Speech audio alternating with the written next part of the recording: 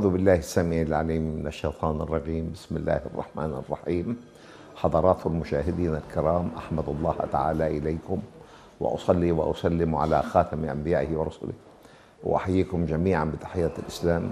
فالسلام عليكم ورحمة الله تعالى وبركاته. وبعد لا زلنا نتدارس معا بعض أوجه الإعجاز العلمي في عدد من آيات القرآن الكريم التي ترد في ذكر بعض أشياء هذا الكون وبعض مكوناته وظواهره. ومن هذه الآيات.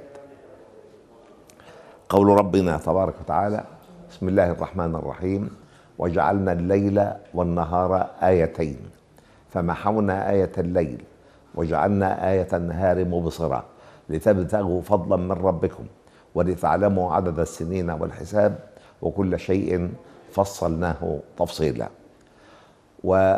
وهذه الآية الكريمة صعب تفسيرها على الأقدمين لأنها تتكلم عن ظاهرة علمية لم تدرك إلا في القرن العشرين.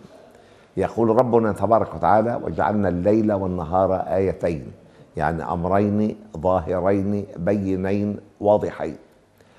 آه قال الأقدمون آية الليل والنهار نيرهما آية الليل القمر وآية النهار الشمس فما معنى فما حونا آية الليل؟ القمر لا يزال مضيئا في سمائنا إلى يومنا هذا. وقال البعض لابد أن القمر كان نجما ملتهبا مشتعلا مضيئا بذاته. وهذا علميا غير ممكن لأن كتلة القمر لا تسمح بنشاطه كنجم. والنجوم عملاقة الكتلة كالشمس آه لذلك لا يمكن أن يكون القمر قد كان في يوم من الأيام نجما مشتعلا ملتهبا مضيئا بذاته.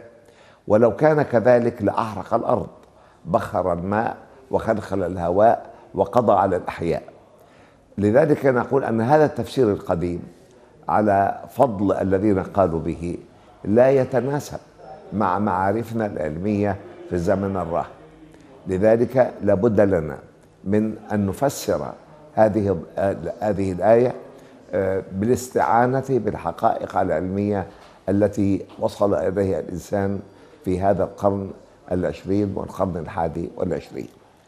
وجعلنا الليل والنهار آيتين فمحونا آية الليل.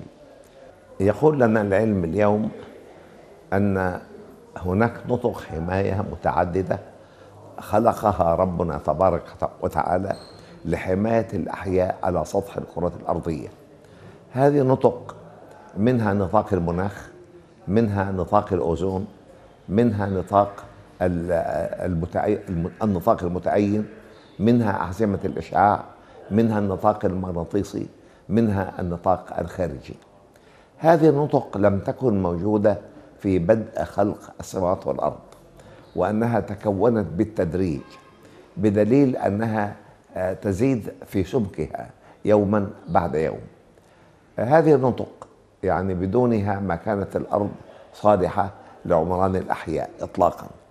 فلاحظ العلماء أن هذه النطق لها مقطع هلالي الشكل بمعنى أن سمكها يزداد يعني بشكل واضح عند خط الاستواء ويرق رقة شديدة عند القطبين.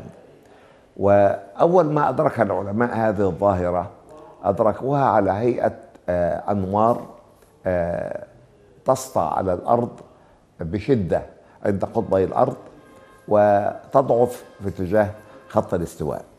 يسمونها يعني الفجر الكاذب أو الفجر القطبي أنوار الفجر القطبي وسماها الرسول صلى الله عليه وسلم باسم الفجر الكاذب. وحذر من من اختلاط هذه الظاهرة المنيرة بظاهرة الفجر الصادق. فالفجر الصادق يكون مع أفق الأرض يكون ممتدا افقيا مع أفق الأرض. أما الفجر الكاذب عبارة عن ستائر من النور تتدلى يعني من أعلى إلى أسفل وتميل عندما تقترب من الأرض يعني ميلا قليلا فيشبهها الرسول صلى الله عليه وسلم بقوله الشريف أنها تشبه ذنب السرحان ذنب الذئب. هذا الفجر الكاذب كان ينير أو ظاهرة الفجر الكاذب كانت تنير الأرض بالليل وكما تنار الأرض بالنهار بضوء الشمس.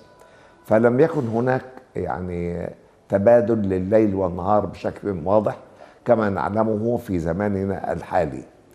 آه تبادل الليل والنهار يعني له فائدة كبرى في تتبع الزمن في مع تدوين الأحداث في آه يعني آه، جعل الأرض كوكبا مناسبا للحياة آه، لكل الأحياء. فجميع الأحياء الأرضية أو في غالبيتها الساحقة لا تتحمل البقاء في الضوء على مدى ال 24 ساعة أو تتحمل العيش في الظلام على مدى هذه الفترة كاملة. لذلك قال ربنا تبارك وتعالى في هذه الآية الكريمة وجعلنا الليل والنهار آيتين. يعني تبادل الليل والنهار معا يعني ظاهرة من الظواهر الضرورية لجعل الأرض كوكبا صالحا للعمران. فمحونا آية الليل؟ بخلق نطق الحماية المتعددة التي تحمي الأرض من الأشعة الكونية وأشعة في صورتها الأولية قاتلة للأحياء. فمحونا آية الليل وجعلنا آية النهار مبصرة لتبتغوا فضلا من ربكم ولتعلموا عدد السنين والحساب وكل شيء فصلناه تفصيلا. وإلى لقاء قادم إن شاء الله. أستودعكم الله الذي لا تضيع عنده الودائع. داعيا لكم بكل خير. والسلام عليكم ورحمة الله تعالى وبركاته.